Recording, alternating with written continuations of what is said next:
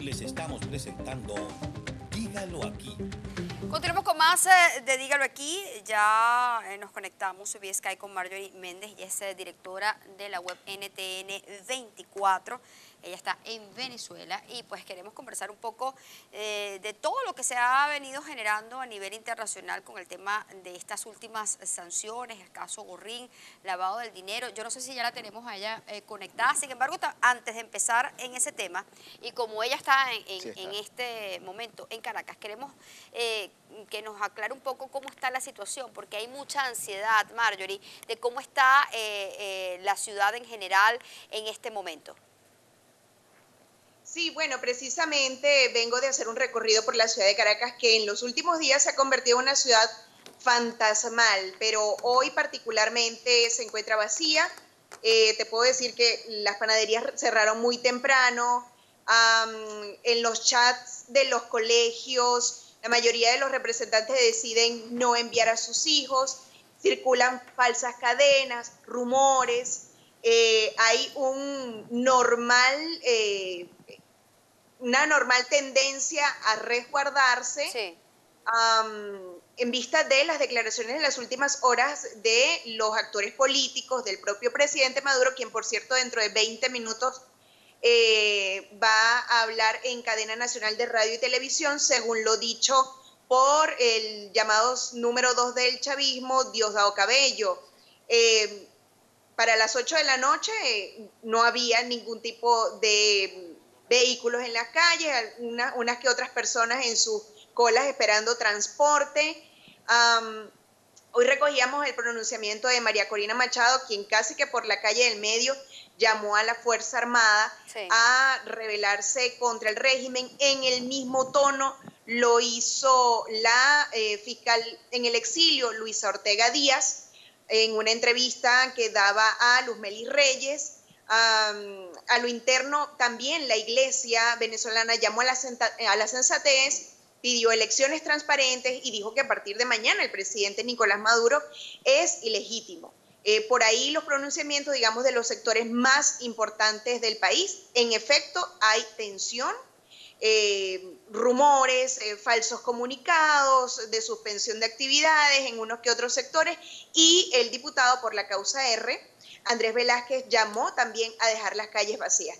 Es natural, lo que ocurre, lo que ocurrirá en Venezuela en las próximas horas es algo eh, que no debe ser habitual en ningún país y en ningún gobierno del mundo. El presidente eh, electo en elecciones dudosas, en elecciones amañadas, eh, sin prácticamente ninguna oposición, se juramenta ante un tribunal ilegítimo. Eh, hace pocos minutos el presidente de Ecuador, Lenín Moreno, eh, anunció que además retiraba al embajador de Caracas y que había recibido eh, falsas injurias.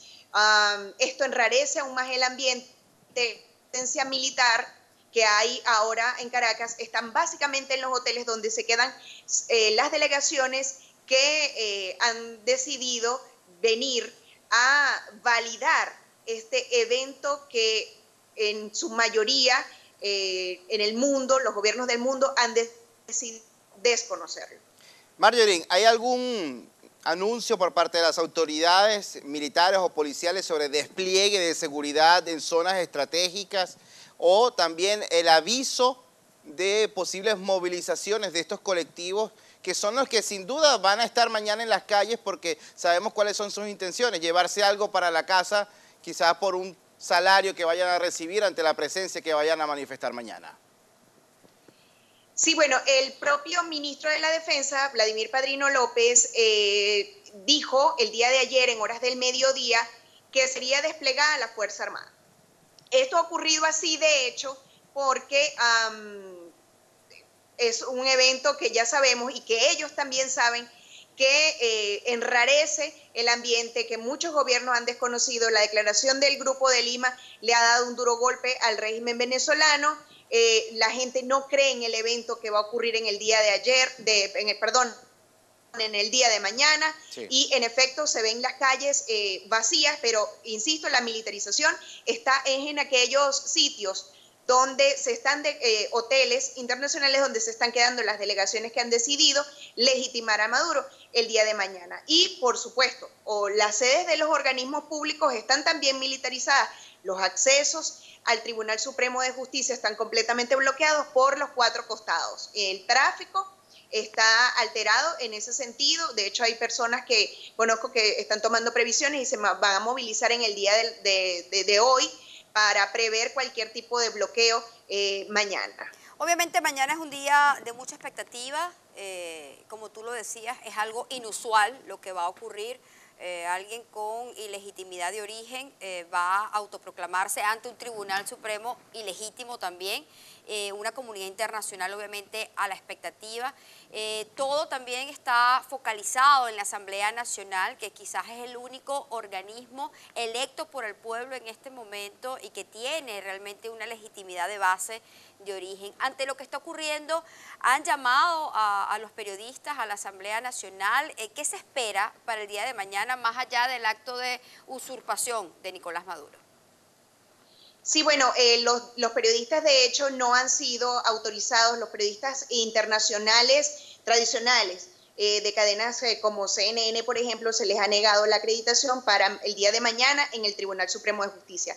El día de mañana no va a haber actividad ni de la Asamblea Nacional ni de la Asamblea Constituyente. Entiendo que para que se desarrollen los eventos sin ningún tipo de convivencia de un bando ni del otro. Hasta ahora tampoco, digamos como medio, de comunicación hemos recibido invitación formal a algún evento o declaración para el propio día, día, de mañana. Eh, según lo que yo puedo repasar como periodista informativamente a lo largo del día, creo que todas las instituciones hicieron, pusieron eh, clara su posición sobre lo que va a ocurrir el día de mañana, el día de hoy. Ya todo está dicho, todo está claro, eh, quien llegue, los gobiernos, las delegaciones que lleguen para el día de mañana están convalidando lo que aquí ocurrirá.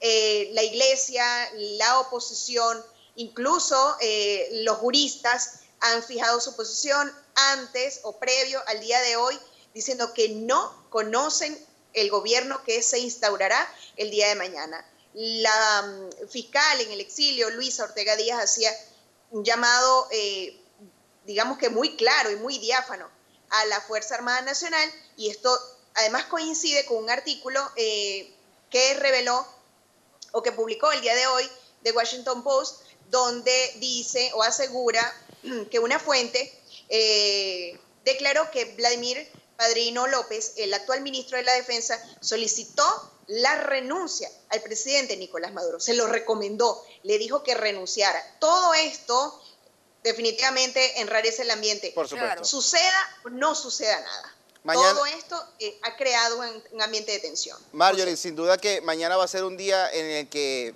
la tolerancia y sobre todo la precisión en la que ustedes se han caracterizado, periodistas venezolanos que se encuentran en nuestra tierra natal, vamos a tener que contar con ustedes para eh, conocer de cerca ante la cobertura que van a realizar en los hechos que se prevén para el día de mañana. Gracias por este contacto, Marjorie. Saludos al equipo.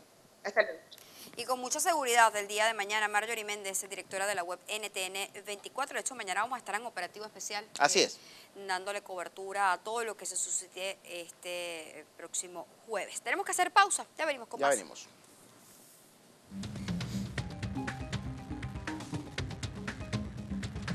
Les estamos presentando